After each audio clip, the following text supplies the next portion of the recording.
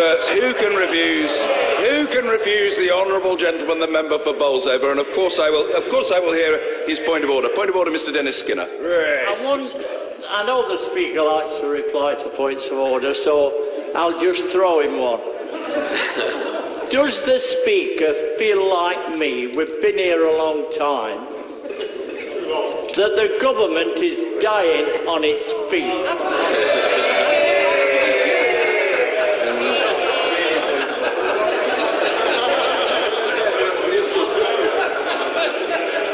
It is not for me to make any such assertion. I think I've done my bit in allowing the honourable gentleman to indulge his appetite. but I think I should leave it there. I honestly think I've said enough for tonight. I think members know that what I've said so far is clear, at least in terms of the intended sequence of events. But I thank the right honourable gentleman. I note he made his point with a smile.